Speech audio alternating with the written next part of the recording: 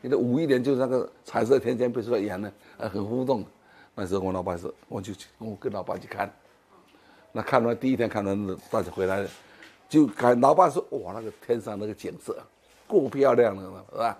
很漂亮，天上人间嘛，想办法跟他做出来。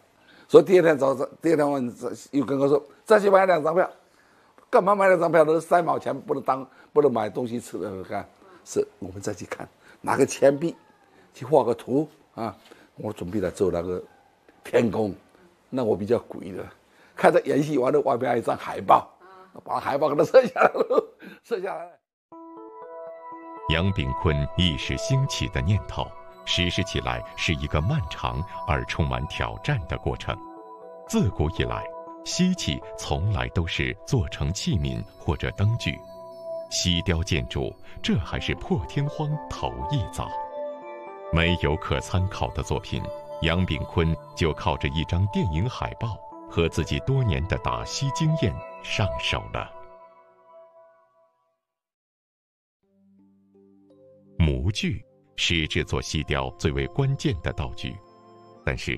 在石头上刻模可不是两三天的事儿，每个部件要刻一模，而锡雕天宫共有七百七十六件铸锡片组成。杨凤眼家中至今还保留着父亲用过的模具，这些模具上面镌刻的是这位打锡老艺人的毕生绝活。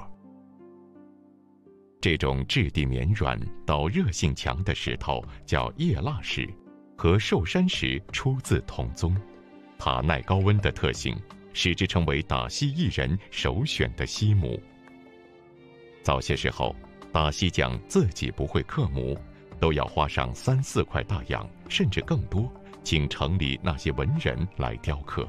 因此，泉州打锡界流传着一句这样的俗语：“卖模不卖模”，意思是宁卖老婆也不能卖模具。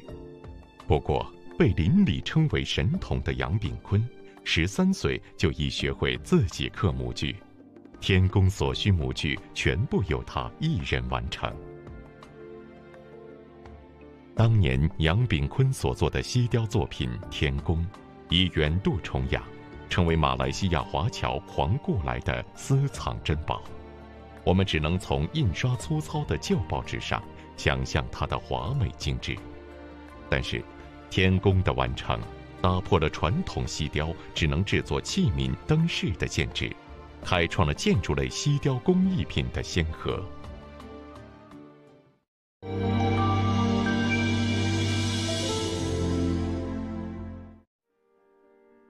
一九五四年，一对父子爬上了开元寺内的东西塔，他们此行的目的并不是参观游览。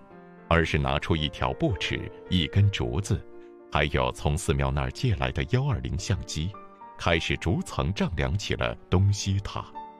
这一量就是一个多月。很多人对此表示疑惑。直到两年后，一对一比二百的西雕东西塔问世，才揭开了谜底。当年这对父子就是已故的杨炳坤和儿子杨丰衍。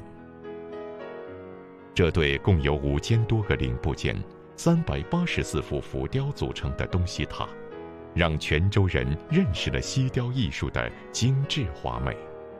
在政府的支持下，父子俩又创作了更大比例的第二版东西塔，在各大展会上出尽风头。人们惊讶地发现。以往用来做酒壶、灯台、茶叶罐的锡，也能做出如此巧夺天工、标新立异的艺术品。